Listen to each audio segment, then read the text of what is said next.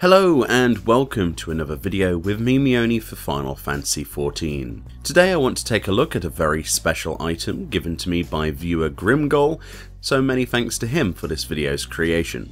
It is undoubtedly one of the cutest housing items you can probably obtain, and this was added in patch 4.2. And it is the Odder Otter Lantern. This then is a level 70 2 star difficulty Master Goldsmith rank 6 recipe. This item can sell up to a million gil, however it's currently going for around 5 to 700,000 gil on my own server Ragnarok EU. Crafting it may be the best option, and if you do craft it you can easily flip a fairly decent profit from the investment into the somewhat basic materials used to craft this.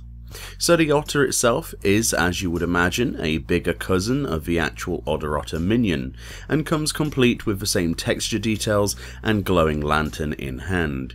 You can turn the glow off and on by interacting with the object with a simple click. It looks at its best in the dark, so let's turn off the studio lights.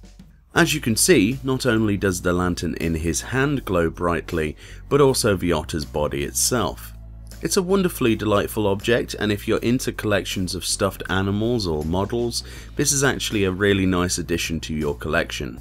Housing items with interactions are always a lot of fun, especially when they offer a source of light. You can really use this item to bring areas of a room to life, so thank you kindly to Grimgold for making this preview possible today.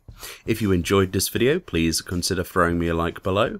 I always welcome the overwhelming support you guys give me. Thank you kindly for watching this video, and I'll see you all next time.